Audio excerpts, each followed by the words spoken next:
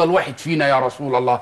قال خير الناس أنفعهم للناس. يا مش ابن فلان وعيلته فلان وابوه كان مش عارف كذا. لا ابدا.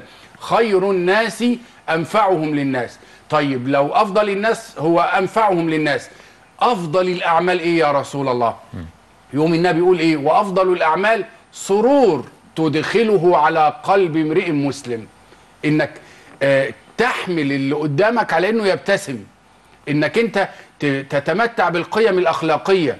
ولذلك سيدنا النبي صلى الله عليه وسلم آه، لما ربنا أراد إن هو يبشر به في التوراة والإنجيل كانت أهم صفاته اللي ربنا ركز عليها القيم الأخلاقية. يلتقي سيدنا عبد الله بن مسعود مع سيدنا عبد الله بن عباس فعبد الله بن بن عمر مع سيدنا عبد الله بن عباس فواحد راكب فينزل يقول له ما حملك على هذا؟ بتنزل ليه؟ شوف بقى التربية.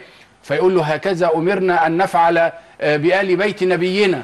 طب ف- يعني يعني شيخ إبراهيم إحنا في الحياة اليومية وفي تصرفاتنا بشكل يومي يعني إزاي إن إحنا نحاول إن إحنا نبتعد عن ال ال السلوكيات اللي هي مش مطلوبة؟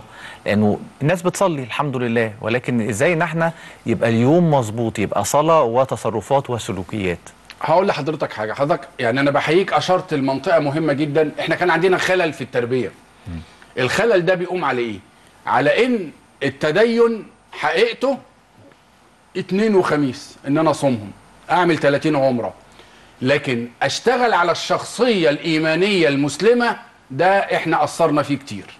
وده أفرز جيل حتى على مستوى الجماعات اللي بتدعي بتدعي التدين من أسوأ الأجيال المعاصرة اللي شهدتها البشرية في منطقتنا الجيل اللي بينتمي للجماعات الدينية. ليه؟ هم علموه يصوم كتير ويصلي كتير لكن للأسف حرموه من أعظم نعمة في الإسلام وهي إن هو يربي الشخصية المؤمنة الواعية على القيم الأخلاقية. يعني ربوهم على الغلظة ربوهم على الفظاظة ربوهم على القسوة. ولذلك تجد اللي بيقتل بيقتل بدون ما يفكر يعني غسل الدماغ. النهارده إحنا محتاجين نستعيد القيم دي إزاي؟ أن نربي كما ربى النبي صلى الله عليه وسلم. حلو ده كان سؤالي. يعني إزاي نحس ونشجع أبنائنا على يعني مكارم الأخلاق؟ آه التشجيع هنا مش هيجي من حملة تلفزيونية يا جماعة تيجوا النهاردة يبقى عندنا أخلاق. لا ده مشروع كبير. لازم كلنا نرفع في المجتمع من قيمة ال- ال- القيم الأخلاقية.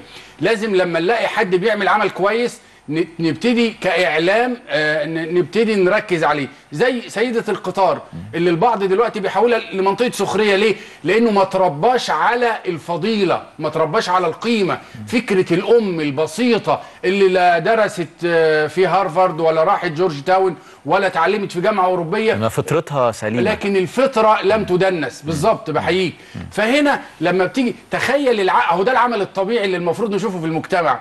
لما يحصل له نوع من انواع ان